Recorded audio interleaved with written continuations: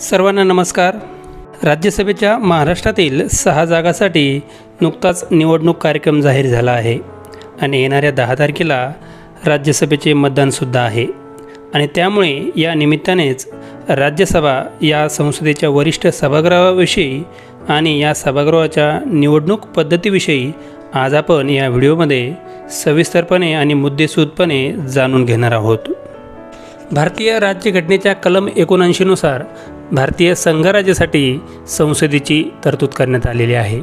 आणि या भारतीय संसदेमध्ये राष्ट्रपती आणि लोकसभा व राज्यसभा या दोन सभागृहाचा समावेश होतो.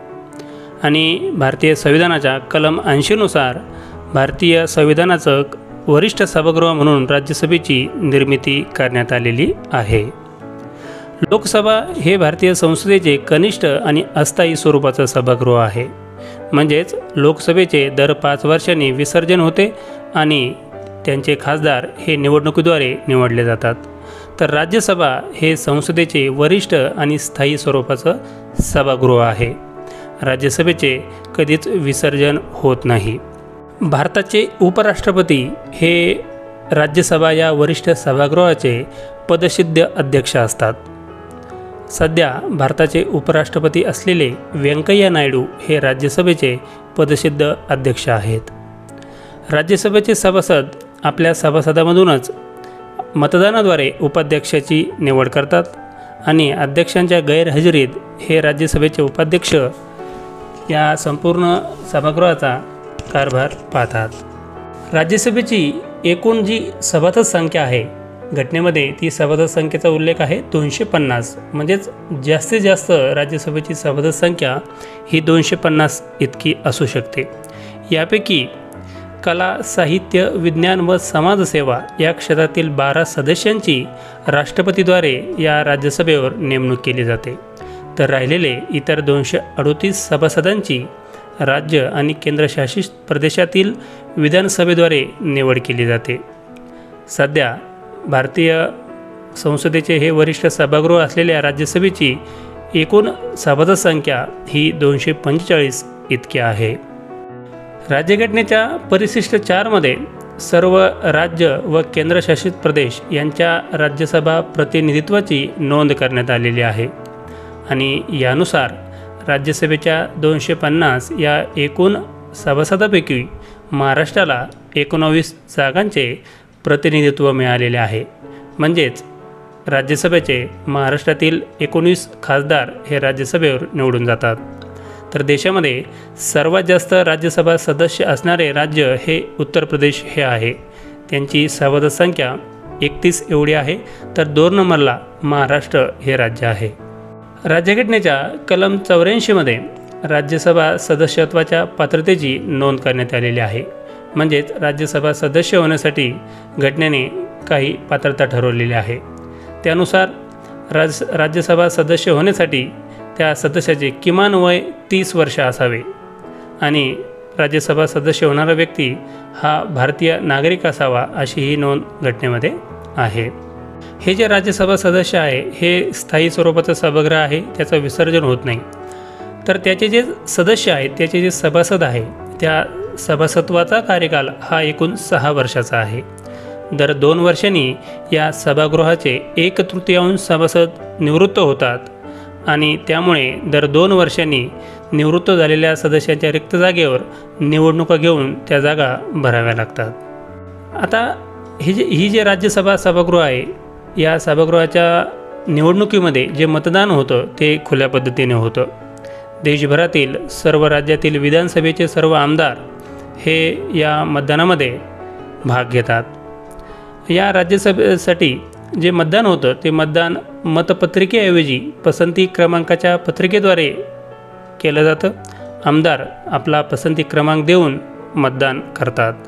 आणि ही मतपत्रिका आपापल्या पक्षाच्या ठरवलेल्या अधिकृत प्रतिनिधीला दाखवूनच मतपेटीत टाकणे अनिवार्य असते. आता या राज्यसभेच्या खासदाराच्या निवडणुकीमध्ये जे आमदार मतदान करतात त्यांचं मताचं मूल्य कसं मोजतात हा प्रश्न सर्वसामान्याने पडतो. तर या आमदाराच्या मताच्या मूल्याचं मोजमाप हे एकल संक्रमणीय किंवा प्रमाणशीर प्रतिनिधित्व या पद्धतीद्वारे मोजलं जातं. प्रत्येक विधानसभा आमदाराच्या मताचे मूल्य हे एक मानले जाते. मात्र तरीही मतपत्रिकेवर पसंती क्रमांक देणे त्यांना बंधनकारक असतं.